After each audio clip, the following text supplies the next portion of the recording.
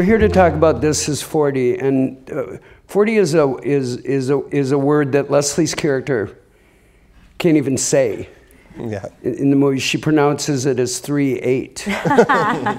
um, uh, but yet you chose to go ahead and call it "This is 40," like put people on notice. Didn't the marketing guys say to you, "Can't we call it This is 19? This is."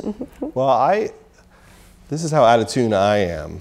I thought that was the hook. This is 40. I just, I, you know, I used to think uh, maybe I wasn't uh, obsessed with the number 40 or the age 40, and then I realized that 50% of my movies have the number 40 in the title. so something is happening. Uh, but I, I, don't know. I, we'll find out. I guess I, there is like some patter out there of, you know, do I have to be 40 to get it? But that's why there's people of all ages in the movie. Uh, you know, Megan Fox is in the movie. Our kids are in the movie. My grandma, who's 90, is in the movie. Right. So, uh, so we cover all of the ages. You don't try and make 40 look cool. And so Paul is a remarkably good looking person. Would you agree with me? Uh, yeah, yeah. That's why he plays me Would on you TV. agree with me?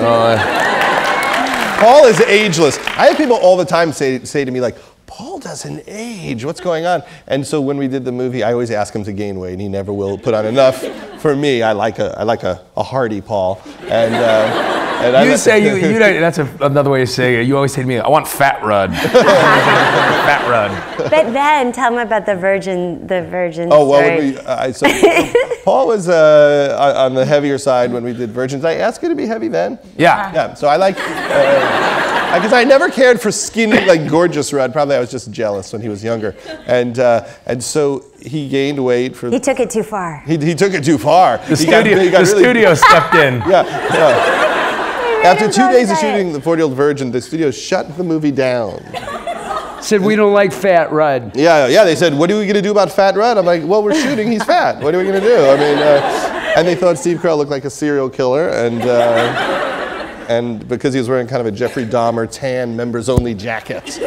but, the, but the first time you see him when in the speed dating Yeah, in the scene movie. is when he's fat Rudd, and then all, all of the other scenes he's handsome. Yeah, he lost weight. Rudd. That's- that's it. In the four days we were shut down, I ate nothing but lettuce.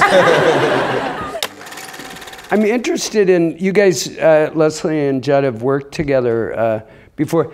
I, I I personally could not paint a room with my wife. It, it just it just would not happen. It would end in in in in in murder, probably. to be honest, Oh no, we hate each other. the um, I think I think it, I think it Laughing a little too hard at that, I think. the first scene we ever shot together in Knocked Up, we got into this fight in the movie, and um, when we finished, I, I thought like, oh, Leslie uh, hates me. Like she really, not like the character, she hates me. and I was saying this to uh, to Seth. And then I think it got back to you. So that the next day, Leslie came up to me and said, I heard that you think I hate you. and then you said, um, No, I don't. I don't hate you at all. I hate Judd.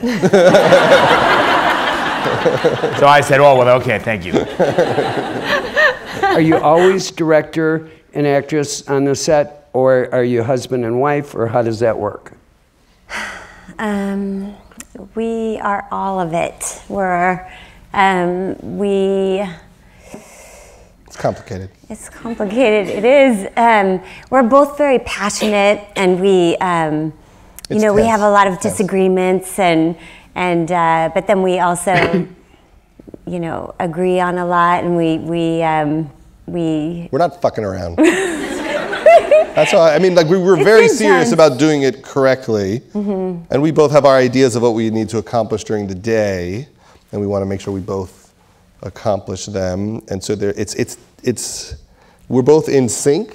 Right. We basically agree on what we want to do, but we both really want to make sure it gets done right because it's so uh, vulnerable. Having Leslie in the movie and our kids in the movie, like you can't make a crappy movie with your family because that's really embarrassing. There's this whole, you negotiate the gift detente. We wrote an article about that for the New York Times one year. Yeah, it- we're, we're okay, we're not doing gifts. Yeah. Except what it means is I'm not getting one Yeah.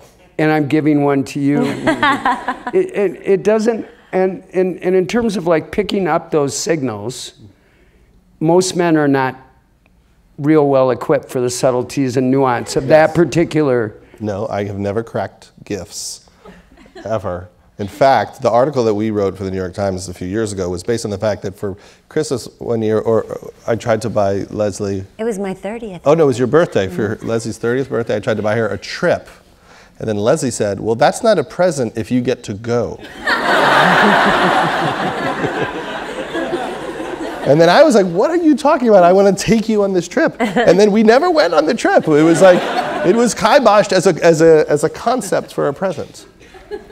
Would a trip, would a present been, I'll send you on a trip? And that would have been a, a good present. You're going to Cabo. Yeah, but see, the thing is, though, if you did that, then then there'd be the jujitsu. You just want to get rid of me for a That's couple true. of days. It's very elaborate. It's a, it's a, it's a, her, her, her, her trap is, I, I, I never see it, it's invisible. And, the, the, and it's because I bought Leslie such terrible gifts at the beginning uh, when I was a young man and I didn't know uh, how to treat a lady. I, uh, I only bought her gifts that I kind of wanted, you know, things I just Tom wanted in the house. Yeah, Tom The Petty Tom box Petty set. box set. And Leslie looked at me like, what is the matter with you? And I swear at that time, I didn't know the Tom Petty box set wasn't an awesome gift for your. That's an awesome gift. Tom Petty, man. So you have to learn a lot. There's a lot to learn along the way. When you get in the mo- middle of a movie like this, what you set out to do, it's kind of a sequel to Knocked Up, or uh, how should we describe that? Well, there was Mary Tyler Moore, and then there was Rhoda, Right? and there was uh, Mary Tyler Moore, and then there was the Lou Grant Show, Right? and then there was uh, Cheers, and there was Frasier.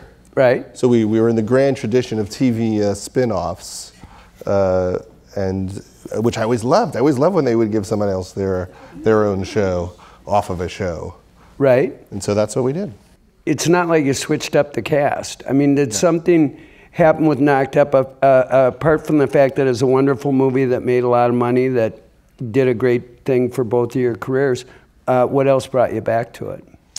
I, you know, I, I- I started thinking about how much was happening in our, in our home and all the different things we were struggling with, and looking at all of our friends, and they all seemed to be having a common experience. So I thought, oh, I should probably write about that. I love movies like Parenthood, and I'm sure we have a good version of it.